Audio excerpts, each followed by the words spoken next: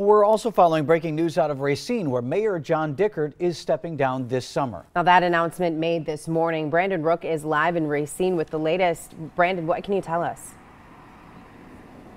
Vincent Elise, Mayor Dickert plans to move on to a new chapter in his career. He plans to resign effective this summer. Mayor Dickert says that after long reflection and discussion with family, he decided to accept a new position as the president and of the Great Lakes St. Lawrence Cities Initiative, standing up for water on a bigger stage. He's comfortable with this decision and believes the city of Racine will continue to move forward in the right direction. He has held this position since 2009. He said the Great Lakes Initiative reached out to him to take the position.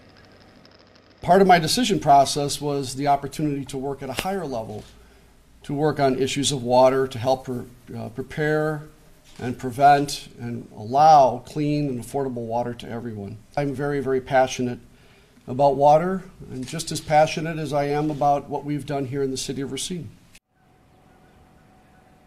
Mayor Dickert also added that there will be a special election this fall to find his replacement. Live in Racine, I'm Brandon Rook with today's TMJ4.